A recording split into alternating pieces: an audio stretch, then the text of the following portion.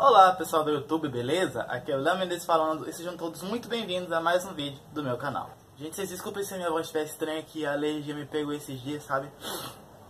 É. Então pessoal, hoje eu vim aqui para responder mais uma tag e dessa vez eu vou responder a tag 7 pecados literários. Obviamente ninguém me tagueou para responder essa tag, mas novamente, e daí né? Eu vou responder mesmo assim, ninguém é obrigado a esperar pelos outros, e se eu quero, eu faço, não é? E antes de começar, eu vou pedir que você deixe o seu like, que você se inscreva no canal para ajudar a me divulgar, ative o sininho para você ficar sempre atento a toda vez que eu postar um vídeo. Se você gosta de tags, livros, filmes e etc. E compartilhe esse vídeo com todos os seus amigos também, beleza? Então, bora logo começar.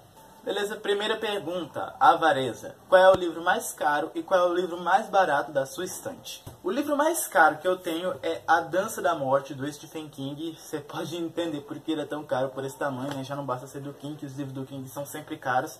Eu, na época, eu paguei, se não me engano, foi 57 reais ou foi 59 reais nesse livro muito caro sim, mas valeu muito a pena porque eu amei muito esse livro. E o livro mais barato da minha estante é A Maldição de Horrendo, que é até então o último livro que eu comprei. Ele foi 7 reais, bem baratinho. É um dos livros favoritos da minha infância. E é isso, né? Segunda pergunta.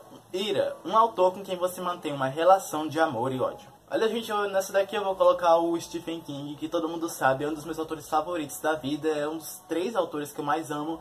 E realmente, gente, a relação que eu mantenho com o King é uma relação de amor e ódio, porque às vezes ou eu amo o que ele escreve, ou eu odeio. Eu amo a escrita do King, o King tem uma escrita bem detalhista, uma escrita bem crua, uma escrita assim, ele constrói muito bem personagens, ele sabe fazer a gente entrar na mente dos personagens que ele cria, e isso é o que eu amo na escrita dele. Mas às vezes, às vezes ele também me irrita muito, primeiro porque às vezes essa escrita muito detalhista deixa a história muito arrastada e muito lenta.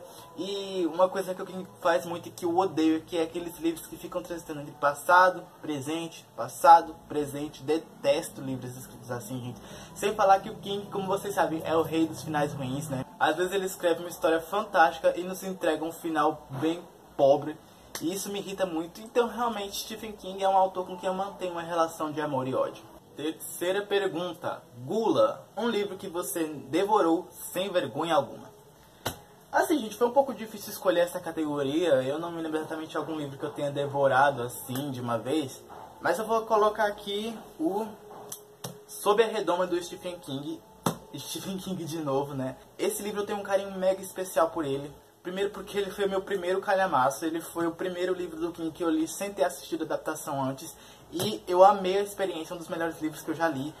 Ele tem 950 páginas, foi o primeiro livro realmente grande que eu peguei para ler. E eu li ele em 15 dias, se não me engano, ou foram 10? Foram 15 dias eu li ele. Ou seja, praticamente devorei. Eu sei que para algumas pessoas isso pode parecer um pouco dias demais para um livro desse tamanho. Para algumas pessoas parece realmente que eu li muito rápido. Mas eu, na minha opinião, eu devorei ele considerando a época que eu peguei ele para ler. Quarta pergunta: preguiça. Qual livro você tem negligenciado devido à preguiça? Eu poderia colocar It a Coisa do Stephen King aqui, mas para não ficar só Stephen King nesse vídeo, eu vou colocar aqui o livro Precisamos Falar sobre o Kevin, que é um livro que está na minha wishlist já faz um tempinho. É um livro que todo e qualquer booktuber que eu acompanho elogia muito esse livro. É um livro muito aclamado. E justamente por isso eu tenho curiosidade de ler ele, mas assim, dá uma preguiçinha de pegar ele, porque ele é um calhamacinho, né? Tem mais de 600 páginas. E eu tenho lá um certo receio, né? No, digamos que eu tenho lá minhas dúvidas se esse livro pode ser tão incrível assim pra mim, né?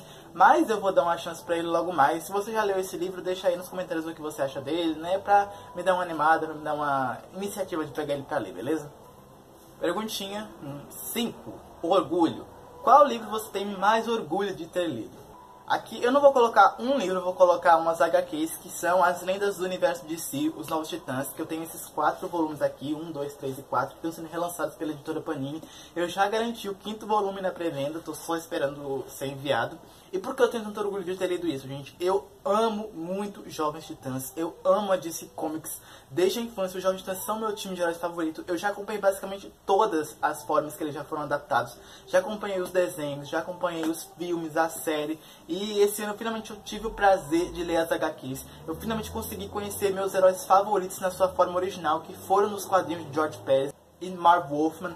E, gente, eu não preciso dizer o quanto eu amo esses HQs e o quanto eu me estou orgulhoso de ter conferido eles, porque eu me sinto um fã raiz, eu me sinto um fã de verdade desse incrível time de heróis que são os Novos Titãs. Pergunta 6. Luxúria. Que atributos você acha atraentes em personagens femininos e masculinos? Bom, gente, deixa eu ver como é que eu posso explicar. O que eu acho atraente em personagens masculinos é simplesmente personagens masculinos bastante humanos. Eu gosto de personagens masculinos que assim não banquem aquilo de eu sou homem, eu sou forte, eu não choro, eu sou valentão. Não. Eu gosto de personagens masculinos que sejam assim bastante humanos, que tenham sentimentos, que a gente consiga sentir que eles são sensíveis, que a gente sente que eles são, que eles se emocionam, que eles são capazes de chorar, eles têm sentimentos profundos. Eu gosto de personagens masculinos com isso, porque eu me identifico muito com personagens masculinos assim. Personagens femininos, o que eu mais gosto com certeza são personagens femininas empoderadas, personagens femininas que têm personalidade, personagens femininas que têm força de vontade, que são fortes, inteligentes, que não dependem de ninguém para fazer o que querem, que quebram tabus, que são ícones, enfim, vocês entenderam, né? É isso que eu amo em livros, esse tipo de personagem feminino. E pergunta 7, inveja. Qual livro você gostaria de ganhar de presente? E um livro que eu gostaria muito, muito de ganhar de presente, com certeza é Novembro de 63, do Stephen King de novo. Eu tenho muita vontade de ler esse livro. Esse livro é com certeza um dos mais elogiados livros do King.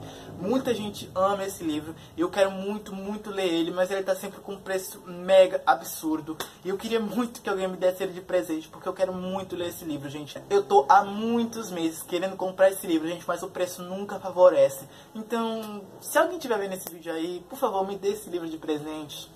Então foi isso, galera. Eu espero que vocês tenham gostado do vídeo. Se vocês gostaram, vocês já sabem. Deixa o seu like, se inscreve no canal, ativa o sininho para sempre me acompanhar. Compartilhe esse vídeo com todos os seus amigos que gostam de livros, que gostam de filmes, que gostam de tags e tudo mais. Na descrição eu vou deixar o link de todas as minhas redes sociais para quem quiser me seguir, meus Instagrams, minha página no Facebook e meu Scooby, para vocês sempre poderem acompanhar tudo que eu ando lendo, beleza?